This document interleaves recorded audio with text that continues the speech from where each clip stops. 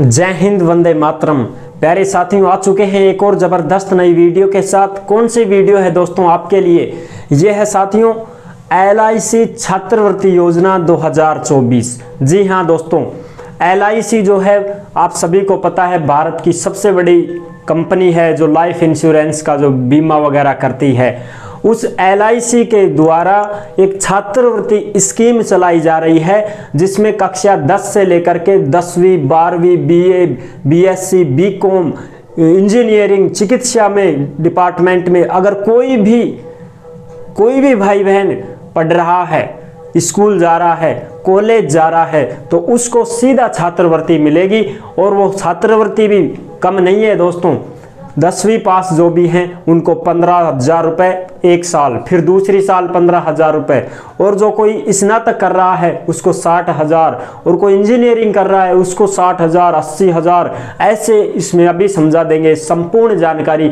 सभी फॉर्म भर सकते हैं, कोई समस्या नहीं है। हाँ ये ज़रूर है कि भाई कॉलेज वगैरह कौन सी होनी चाहिए, सरकारी, प्राइवेट, वो तमाम हम बातें करने वाले हैं एकदम आसान और सरल भाषा में। कौन कौन आवेदन कर सकता है, कौन नहीं कर सकता है किस, किसको पैसे मिलेंगे, किसको नहीं मिलेंगे, सारी बात कराऊँगा, एकदम आसान और सरल भाषा में। अभी तक आप चैनल से नहीं जुड़े हैं तो फटाफट से आप चैनल से जुड़ जाइए। यहाँ पे आपको दिख रहा होगा ओमवीर रोज़गार। आप ही का चैनल है दोस्त। ये गाली पट्टी में सब्सक्राइब लिख रखा है ना, जाके इसको दबा दो। इसको दबा दोगे तो चैनल सब्सक्राइब हो जाएगा। आप हमसे जुड़ जाओगे, हम आपसे जुड़ जाएँगे। फिर जो भी खबर आएगी, जो भी भर्ती आएगी, तत्काल प्रभाव से आपके साथ शेयर कर दी जाएगी। तो चलो शुरू करते हैं। नमस्कार साथियों, मैं राजेश गुजर। स्वागत करता हूँ आप सभी प्यारे साथियों का ओमवीर रोज़गार के यूट्यूब चैनल में। देख लेते हैं इस एल की छात्रवृत्ति योजना के बारे में क्या है, क्या नहीं है, किसको मिलेगा, किसको नहीं मिलेगा, कौन फॉर्म भरे, कौन नहीं भरे, सारी ही जानकारी मैं आपको देने वाला हूँ। ऑफिशियल नोटिफिकेशन में जो भी बातें हैं, उनको मैं आपको सरल भाषा में समझाने वाला हूँ। बस आप जुड़े रहिएगा। अब देखो, इसकी कर लेते हैं संपूर्ण जानकारी के बाद। एल छात्रवृत्ति योजना 2024 एल गोल्डन जुबली फाउंडेशन के द्वारा ये छात्रवृत्ति आपको दी जाएगी।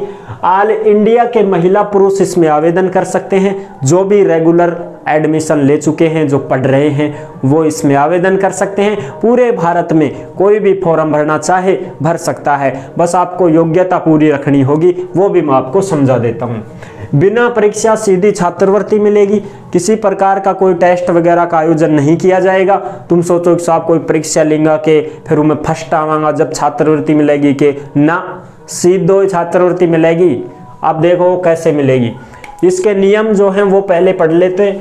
ऑनलाइन आवेदन है, शुरू हो चुके हैं और लास्ट डेट 14 जनवरी 2024 रहने वाली है। यानी कि लास्ट डेट 14 जनवरी रहेगी, उसके बाद में फॉर्म नहीं भर सकते हो। अच्छा साहब, नियम पढ़ो पहले। नियम क्या है? पहले से ही छात्रवृत्ति के फॉर्म लगा रखा है तो मान्य नहीं होगा। यानी कि आपने पहले से कोई छात्रवृत्ति का फॉर्म भर रखा हो तो आप इसमें फॉर्म मत भरना भैया। फिर आप उसी से लेना जो सरकार आपको छात्रवृत्ति दे रही है, जिसमें आपने फॉर्म लगाया है, उसी में आप छात्रवृत्ति लेना, इसका फॉर्म मत भरना, वरना रद्द हो जाएगा।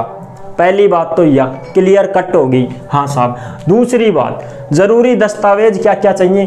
पैन कार्ड स्टूडेंट का। आधार कार्ड, दसवीं में है तो दसवीं की, बारहवीं पास किया है तो बारहवीं की। खाता संख्या पासबुक चाहिए, आयकर बनवाना पड़ेगा, ढाई लाख रुपए से कम होना चाहिए, एक साल की आय। मोबाइल नंबर सबके पास है। और लाभार्थी कौन कौन हो सकते हैं? माता पिता की अधिकतम दो संतानें ही लाभ लाभ ले सकती हैं इस छात्रवृत्ति का। अगर किसी माता पिता के दो संतान हैं, जैसे दो लड़के हैं एक साथ तो उनको नहीं मिलेगा, एक ही लड़के को मिलेगा और एक लड़की को मिलेगा। ठीक है? जैसे मान लो किसी भी परिवार में एक लड़का और एक लड़की छात्रवृत्ति लेना चाहते हैं तो उनको मिल जाएगी। लेकिन दोनों ही लड़के लेना चाहें तो एक को ही मिलेगी, दोनों को नहीं मिलेगी। अगर दोनों लड़कियाँ ही हैं और वो दोनों लेना चाहें तो नहीं, एक ही लड़की को मिलेगी, दोनों को नहीं मिलेगी। अब वो आपके ऊपर है, आप एक को लेते हो, दो को लेते हो, ठीक है? अच्छा साहब। अब आगे बात करें कौन कौन भर सकता है इसका फॉर्म? जो सत्र 2022-23 में जो सत्र 2022-23 में दसवीं पास कर लिया हो और 60 परसेंट बन गई हो और बारहवीं पास कर लिया हो 60 परसेंट बन गई हो 2023 में पास कर चुका हो दसवीं और बारहवीं। तो ही आप इसमें फॉर्म लगा सकते हैं। ऐसे नहीं है कि कोई 2021 में पास किया हो, कोई उन्नीस में किया हो, दसवीं, बारहवीं, ना। 2022-23 के सत्र में आपने दसवीं पास की हो या बारहवीं पास की हो और 60 परसेंट बनाई हो तो आप इसमें आवेदन कर सकते हैं। अच्छा लेकिन फिर उसमें भी एक रूल है, वो रूल क्या है साहब? अगर आप दसवीं पास कर चुके हैं 60 परसेंट बना ली साहब, प्राइवेट स्कूल में कर लिया, चाहे सरकारी में कर लिया, कोई बात नहीं 60 बना ली बना ली साहब। अब छात्रवृत्ति के लिए फॉर्म तभी अप्लाई कर सकते हो, या तो आप सरकारी स्कूल में एडमिशन लो। या आप सरकारी कॉलेज में एडमिशन लो या आप सरकारी आईटीआई में एडमिशन लो। समझ रहे हो? सरकारी कॉलेज में बीए, बीएससी, बीकॉम, बीटेक कुछ भी करो चाहिए लेकिन सरकारी कॉलेज में आपका एडमिशन होना चाहिए। अगर कोई भी लड़का या लड़की दसवीं पास करता ही आईटीआई करना चाहता है तो सरकारी आईटीआई में उसका एडमिशन हो चुका हो। तब उसको छात्रवृत्ति मिलेगी। और फिर उसको 50 परसेंट बनानी पड़ेगी उसमें, तब फिर उसके खाते में पैसे आएँगे। ऐसे नहीं है कि सरकारी आईटीआई में एडमिशन हो गया और अब साहब 50 बनी भी नहीं तो फिर आपको छात्रवृत्ति नहीं मिलेगी। 50 बनानी ही पड़ेगी था, न पढ़ना पड़ेगा। 50 बनाता ही था पैसा टक आऊँगा खाता में अच्छा जी। कौन नहीं भर सकता है? ओपन यूनिवर्सिटी से जो भी पढ़ाई कर रहा है, वो नहीं भर पाएगा। C A C S I C W A self study course करने वाले फॉर्म नहीं भर सकते हैं। ठीक है? अच्छा जी। अगर कोई भी भाई बहन दसवीं में साठ बना लिया, बिल्कुल 2023 में पास हो गया साहब रिज़ल्ट आ गया। ठीक है? अब उसको ग्यारहवीं में सरकारी स्कूल में एडमिशन लेना पड़ेगा। और ग्यारहवीं में सरकारी स्कूल में एडमिशन लेने पर 50 परसेंट बनानी पड़ेगी ग्यारहवीं में। फिर उसको पंद्रह हज़ार रुपए की किस्त मिल जाएगी साहब। ठीक है? और फिर उसको बारहवीं में भी 50 परसेंट बनानी पड़ेगी सरकारी स्कूल में। फिर उसको पंद्रह हज़ार की किस्त डल जाएगी साहब। हो गए तीस हज़ार रुपए दो साल में। ग्यारहवीं, बारहवीं की, इस प्रकार से। और अगर कोई दसवीं के बाद डायरेक्ट आईटीआई करना चाहता है, कोई लड़की हो चाहे लड़का हो तो आईटीआई सरकारी कॉलेज में एडमिशन लेना होगा और सरकारी आईटीआई कॉलेज में नंबर आ जाता है तुम्हारा तो फिर तुमको एक साल में 50 परसेंट बनानी पड़ेगी, फिर दूसरी साल भी 50 परसेंट ही बनानी। जब तुम 50 परसेंट बना दोगे ना, खट तुम्हारे खाते में पंद्रह हज़ार रुपये डल जाएँगे। और फिर दूसरी साल भी तुमने पचास परसेंट बना दी, फिर पंद्रह हज़ार रुपये डल जाएँगे। ऐसे आपको तीस हज़ार रुपये मिलेंगे। अब बात करें बारहवीं के बाद अगर कोई स्नातक करता है और सरकारी कॉलेज में नंबर आ जाता है, कोई आर्ट से हो, साइंस से हो, कॉमर्स से हो, कोई समस्या नहीं है, सबको मिलेगी छात्रवृत्ति। अगर कोई बीए में है, बीएससी में है, बीकॉम में है, सरकारी कॉलेज में उसका नंबर आ चुका है तो फ़र्स्ट ईयर में अगर वो 50 परसेंट बना देता है फ़र्स्ट ईयर में अगर वो 50 परसेंट बना देता है तो उसके बीस हज़ार रुपये खाते में डल जाएँगे। फिर सेकेंड ईयर में 50 परसेंट बना देता है, फिर बीस हज़ार डल जाएँगे।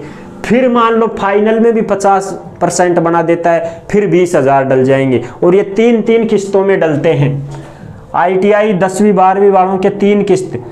प्रथम किस्त पैंतालीस सौ, फिर पैंतालीस सौ, फिर छः हज़ार। एक साल में तीन किस्तों में पैसे।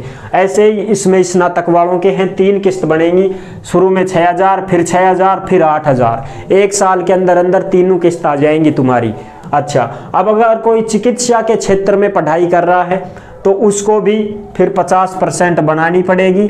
सरकारी कॉलेज में, चिकित्सा क्षेत्र में अगर कोई पढ़ाई कर रहा है तो मेडिकल लाइन में। तो बारह हज़ार की एक किस्त, फिर बारह की, फिर सोलह की। ऐसे तीन किस्त आएँगी उनकी एक साल में। और कितने मिलेंगे उसको? चालीस हज़ार रुपये एक साल के। दो साल तक अस्सी हज़ार रुपये हो गए। ऐसे अगर कोई इंजीनियरिंग कोर्स कर रहा है, कोई बीटेक कोर्स कर रहा है, सरकारी कॉलेज में वो कर रहा है तो उसको फ़र्स्ट साल में ही नौ हज़ार नौ हज़ार, बारह हज़ार, तीन किस्त मिल जाएँगी, तीस हज़ार रुपए। फिर दूसरी साल भी तीस हज़ार रुपए। इस प्रकार से आपको ये छात्रवृत्ति मिलती रहेगी और आप ही के खाते में आती रहेगी साथियों। तो अगर आप दसवीं पास और बारहवीं पास कर लिए हैं 2023 में तो आप इसमें सरकारी कॉलेज में आपने एडमिशन ले लिया है या सरकारी स्कूल में आपने एडमिशन ले लिया है तो आपको 50 परसेंट बनानी पड़ेगी, छात्रवृत्ति मिल जाएगी। लेकिन आपको दूसरी कोई छात्रवृत्ति में फॉर्म नहीं भरना है, इसको ही लेना है फिर आपको, ठीक है? तो ये है इसकी संपूर्ण जानकारी दोस्तों तो आई होप आपको ये जानकारी कैसी लगी, और ये इसका लिंक है H T T P S dot oblique L I C India dot in इस पर जाके आप आवेदन करवा सकते हैं मित्र से भी करवा सकते हैं, खुद भी कर सकते हैं और लिंक भी हम दे देंगे डिस्क्रिप्शन में, वहाँ से भी आप आवेदन कर सकते हैं। लेकिन आप आवेदन अपने मित्र से ही करवा लेना, खुद तो गड़बड़ कर दोगे कुछ ना कुछ छोटी मोटी समझ रहे हो? तो ये है इसकी संपूर्ण जानकारी। तो आई होप आपको ये जानकारी कैसी लगी। और नोटिफिकेशन पढ़ना चाहो तो टेलीग्राम को ज्वाइन कर लो। ओमवीर रोज़गार के नाम से टेलीग्राम है, उसको ज्वाइन कर लो। उसमें नोटिफिकेशन पढ़ लेना, आराम से कोई समस्या नहीं है। तो अगर वीडियो पसंद आई है तो लाइक ज़रूर कर देना। चैनल पर पहली बार आए हैं तो विश्वास के साथ आप सब्सक्राइब कर सकते हैं, क्योंकि देश में जितनी भी भर्तियाँ और जितनी भी सरकारी योजनाएँ निकलती हैं, तमाम हम आपके साथ शेयर करते रहते हैं और एकदम आसान और सरल भाषा में आपको समझाते रहते हैं। तो जुड़ने के लिए आपका बहुत बहुत धन्यवाद। फिर मिलूँगा एक और ज़बरदस्त ऐसी ही वीडियो के साथ। तब तक के लिए सभी प्यारे साथियों को जय हिंद, जय भारत।